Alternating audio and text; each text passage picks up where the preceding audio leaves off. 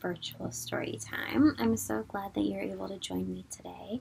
We are going to continue our work on numbers and counting this week. So I thought our very first activity should be one of our favorite, most well loved counting songs, The Five Little Monkeys. Now, my favorite version of The Five Little Monkeys is The Five Little Monkeys in the Tree. Is what we are going to sing first today.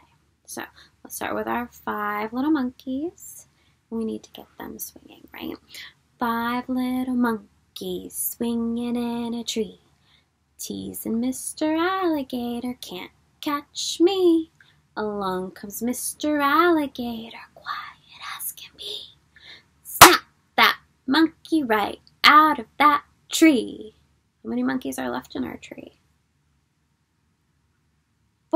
Little monkeys swinging in a tree. Teasing Mr. Alligator can't catch me. Along comes Mr. Alligator, quiet as can be. Snap that monkey right out of that tree. How many monkeys are left? Three little monkeys swinging in a tree.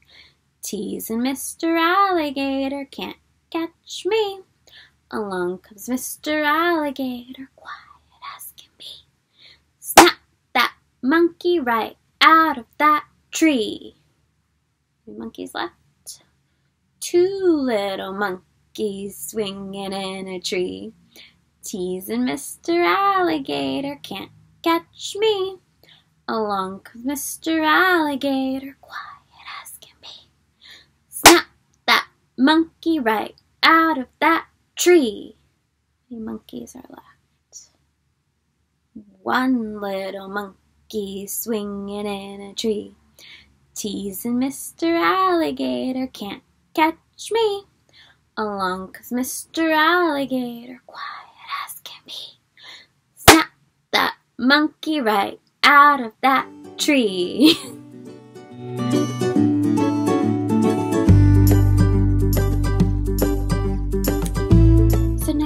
teach you guys a really simple, fun little finger play. It's called Five Fat Peas, and it goes like this. Five fat peas in a pea pod press. You make a fist just like this. One grew, two grew, and so did all the rest.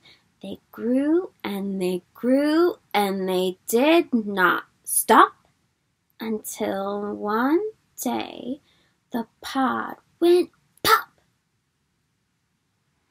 Do you think you can do that with me this time? Let's try again. Five fat peas in a pea pod press. One grew, two grew, and so did all the rest. They grew and they grew and they did not stop until one day the pod went pop. Good job, guys.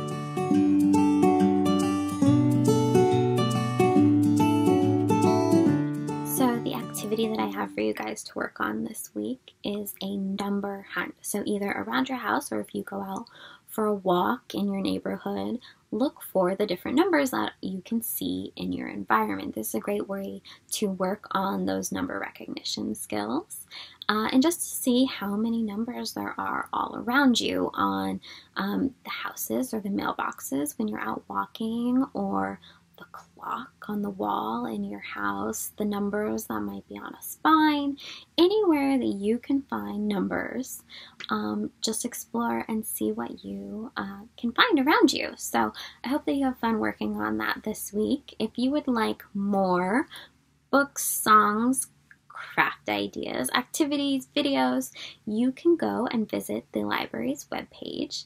It is at www.findlaylibrary.org and under the Kids tab at the top, there is a page for virtual story time. Miss Amy and I have been working on story time handouts for you guys, and you will find a counting one on there with um, books that you can easily find on Hoopla. That is our one of our digital platforms. And um, if you have a library card, all you need to do is that's all you need to access that. So um, these are all books that you can read at home to extend our story time. So I hope that you guys had fun and I hope that you will join me again next time. So everybody have a wonderful day. Bye.